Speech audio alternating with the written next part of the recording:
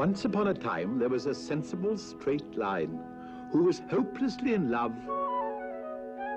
with a dot.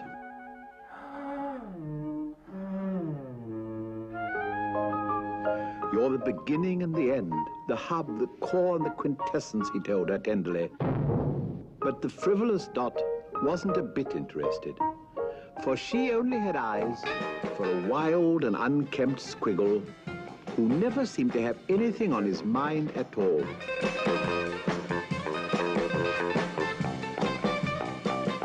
They were everywhere together, singing and dancing and frolicking and laughing and laughing and Lord knows what else. He's so uninhibited and full of joy, she cried rapturously.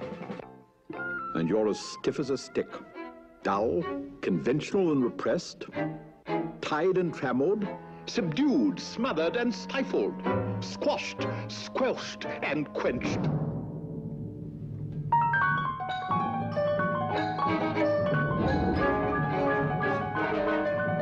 Why take chances, the line argued without much conviction. I'm dependable, steady, consistent. I know where I'm going. I've got dignity. But this was small consolation for the miserable line. Each day he grew more and more morose. He stopped eating or sleeping, and before long was completely on edge. His worried friends noticed how terribly thin and drawn he was and did their best to cheer him up. She's not good enough for you. She lacks depth. They all look alike anyway. Why don't you find a nice straight line and settle down? But he hardly heard a word they said. For anyway he looked at her, she was perfect.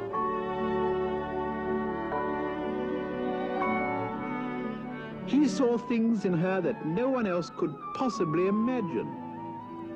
She's more beautiful than any straight line I've ever seen, he sighed wistfully. But even allowing for his feelings, this was probably stretching a point.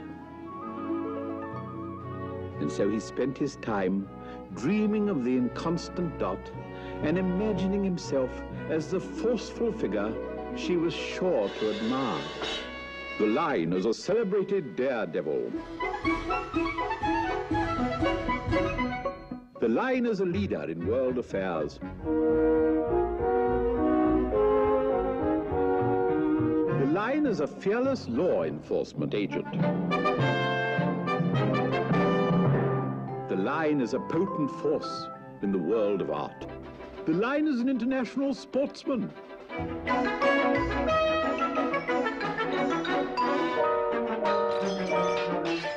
But he soon grew tired of self-deception and decided that perhaps the squiggle might have had the answer after all. I lack spontaneity.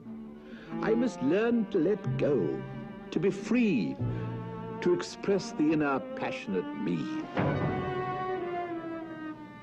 But it didn't make any difference, for no matter how often or how hard he tried, he always ended up the same way. And yet he continued trying and failing and trying again until, when he had all but given up, he discovered at last that with great concentration and self-control, he was able to change direction and bend wherever he chose. So he did and made an angle. And then again, and made another, and then another, and then another, and then another, and then another, and then another. Hot stuff, he shouted, much impressed with his efforts, and in a wild burst of enthusiasm, sat up for half the night, putting on an outrageous display of sides, bends, and angles. Freedom is not a license for chaos, he observed the next morning. Oh, what a head! There and then he decided not to squander his talents in cheap exhibitionism. For months he practiced in secret. Soon he was making squares and triangles, hexagons, parallelograms, rhomboids, polyhedrons, trapezoids, parallelepipeds, decagons, tetragrams, and an infinite number of other shapes, so complex that he had to letter his sides and angles to keep his place. Before long, he had learned to carefully control ellipses, circles, and complex curves, and to express himself in any shape he wished. You name it, I'll play it. But all his successes meant nothing to him alone, and so off he went to seek the dot once again. Oh. You again, muttered the squiggle in a voice that sounded like bad plumbing. You don't stand a chance. But the line was bursting with old love and new confidence, and he was not to be denied, for now he was dazzling. Clever.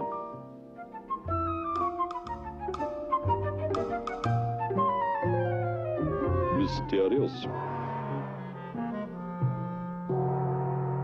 Versatile.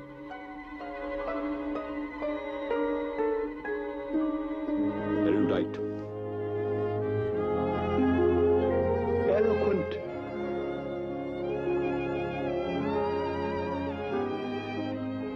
Profound. Enigmatic. Complex. And compelling.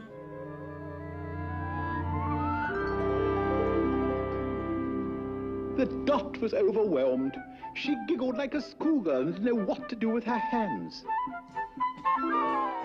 Then she turned to the squiggle who had suddenly developed a severe cramp. Well, she inquired, trying to give him every chance. The squiggle, taken by surprise, did the best he could.